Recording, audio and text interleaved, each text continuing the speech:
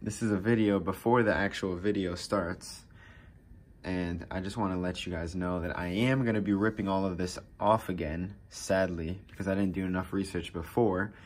And this isn't really a good thing for headers. It's a good thing for like exhaust downpipes and stuff, but not for manifolds because manifolds get a lot hotter than the actual downpipe. And if you let the header bake in itself and get way too hot, which is basically what this heat wrap does, the header won't last very long. Sorry, not header, the turbo manifold, whatever, won't last very long and it will corrode and it will get a lot weaker and it'll crack and stuff. So people say that a thousand miles and it starts messing their manifolds up and I really don't want to buy another manifold because of some dumb wrap that I could have taken off before. So it looks cool and all and I have all that footage. I spent so long doing this so I'm gonna upload it anyways just because I think it looks cool but besides that I'm not gonna run it and I don't recommend for you guys to do it at all either because if you look it up there's really no benefit for it. And I guess I'm paying the price for it. I got to make a video out of it, so I don't really care as much as if I didn't, but don't do this. But you can still watch the video if you if you're interested in how I did this. After seeing how the manifold fit in the engine bay, I realized that it was really close to everything like the, the drain, the turbo sits, right here and then the drain goes basically touching the manifold through there the coupler sits really close to here the wastegate has all the wires for the uh for the ignition right there so i want to try and wrap it with this heat wrap i have two of them because i don't know how much i'm gonna need but then i also have this fire sleeve so that i can wrap the drain in it and hopefully the drain won't burn because it does get really close right there. So I've never done this before. I'm to wet it because this type isn't the expensive $50 per roll type. So I'm going to wet it. And I think I'm going to start with this one right here because it's a nice practice and then work my way down. So before I actually go ahead and wet it, I'm going to get a rough estimate of how many loops it's going to be. one,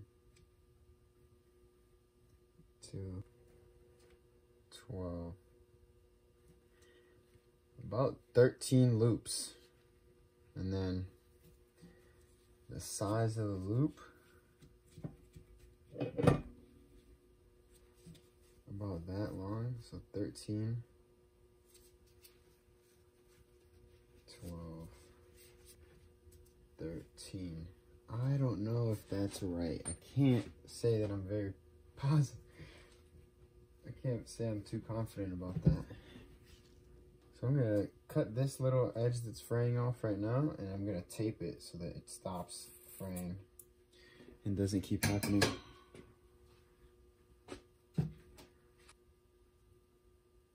Okay, so just because I'm not very confident about that, I'm gonna start.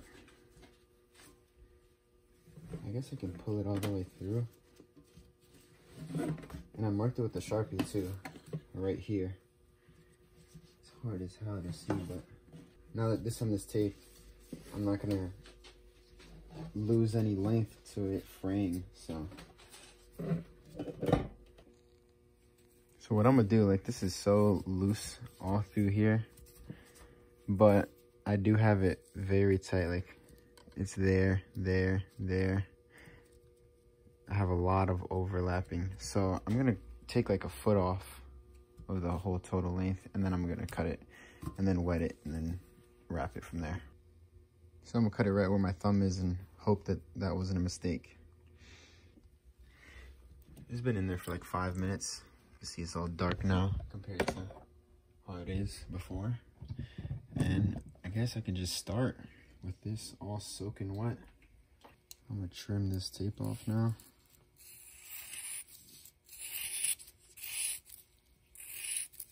And this stuff is fucked. So I think what people say to do is make like a loop like this so it gets locked into place or something. And then you just start. There is a seam that I saw in Eric the Car Guy's video. I think the seam that he was talking about is this one up here. So that compared to here. So I'm going to put this side down like that. And then wrap it up from here.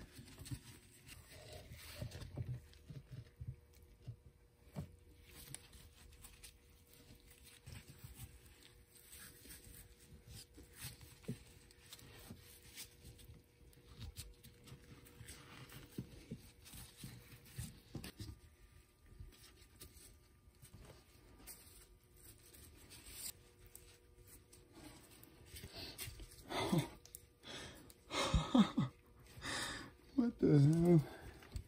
Cool, nine minute clip. That was a lot harder than I thought it was gonna be, but got it done. So now I have this thing.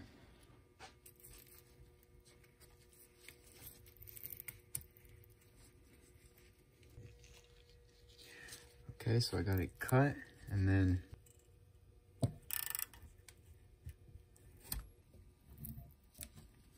make sure it's fully on the wrap.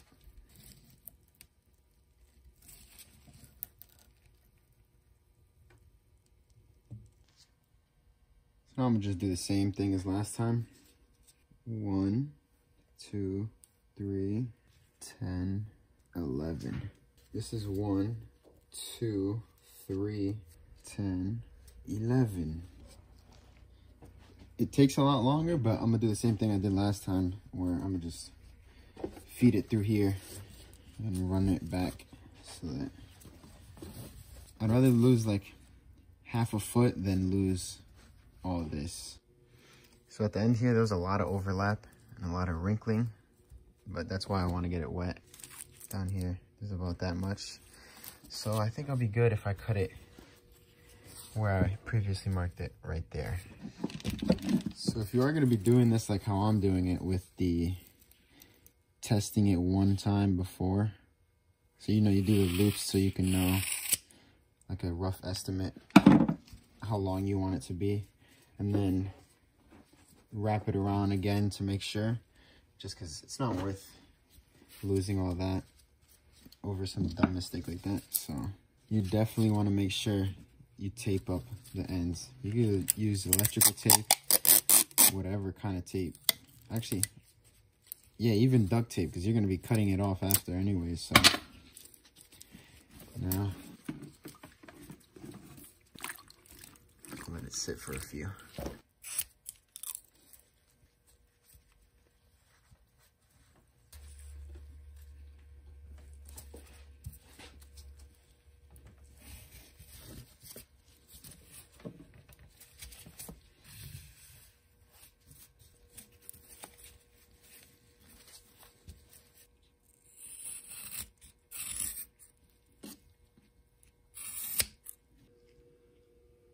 So when I come around here to do the collector, it's going to be a little bit weird because the wastegate tube is right there. So I'm going to put a clamp on here and right there you can see that I can't go anymore. So I'm just going to hope for the best with when I wrap this, I can get at least one through there and like sneak it down through over there like that.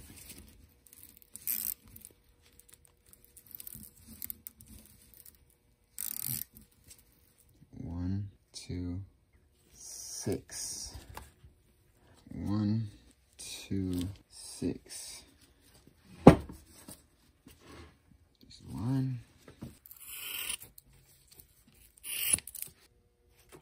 So I actually kind of messed up on this one. You do want to go start from here and then work it this way so that you don't have to use the clamp up here and it'll kind of just lock itself in there because right here it's not really necessary for me to have that clamp because every time you wrap over it, it kind of locks itself into place. So from here on out, I'm going to do that. And maybe I'll take that off once I wrap around it. I don't know. We'll see, but...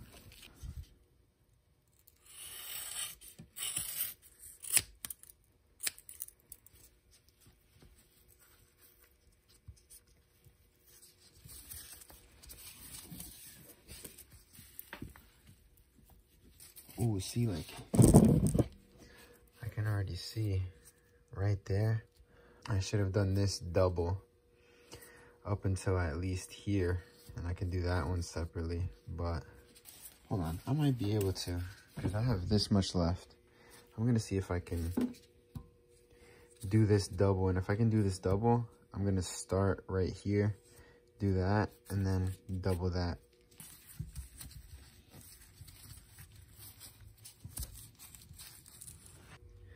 I can do it like that, which I think that's what I'm gonna have to do. The back side there will be good. Need it to go a little bit right there so that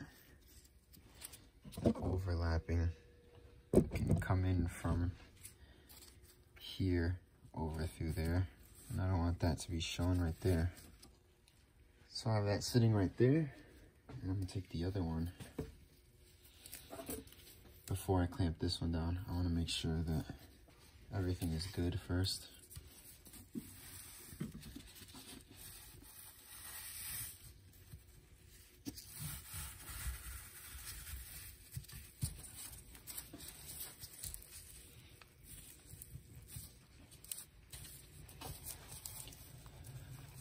I think that's good.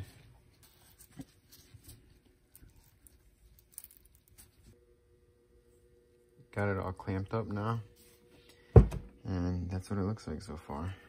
The back side, there's a lot of fraying over here, which I don't know if that's gonna like somehow untangle, but I put two clamps on there. I couldn't put one all the way at the top because of the bend, but up here it doesn't need one because the wrap locks itself in when you start from the top bottom. So if I would have started top bottom here, I wouldn't need one up here.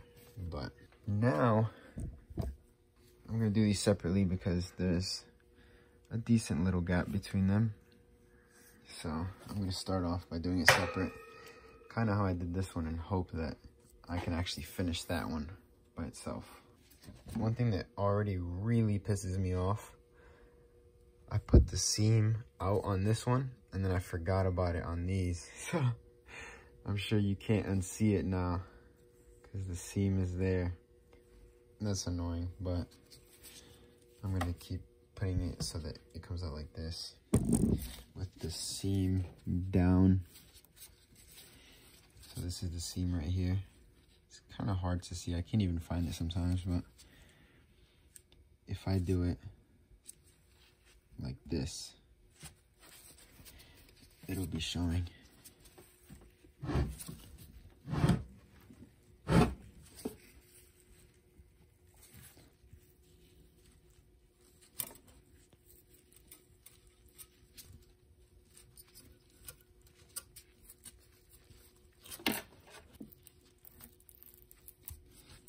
Those frays sticking out, so I just tucked it under like at the beginning. I should have started on this side. Fuck! This side looks crazy, yo. I should have done it on this side, because this is kind of what you're going to see. Fuck! That looks horrible. Why am I making the bottom all pretty? This side looks decent. But, oh God, fuck it. This has been taking so damn long, so I just try to get as much done. And now I'm finally on the last runner. All I'm gonna do this side is I'm gonna start up at the top collector and then I'm gonna work my way down to the bottom so that if I start up here, I won't have to put a big metal tie around there it'll just hold itself in and only need a metal tie at the bottom. So I'm gonna run it. There's gonna be a little bit of exposed header, but it doesn't matter. It's not gonna really be much difference. Most of the keeping in aspect will actually be from all of these runners. So, so the plan is run it like that. And then on the back side, I want to have this end on the runner so that I can then wrap this like the rest of as I'm wrapping the runner I can go around and pinch this under kind of like that. So like I said, got it through there and then, and that's where the wrap starts. And with this one, I'll just cover it right there and that's locked into place. This is gonna be showing a little bit, but I don't care. this side doesn't look the best, but whatever. So I'm just gonna do all this off camera real quick. Finally, after like four hours or something, I don't even know. I'm so delusional after doing this for so long.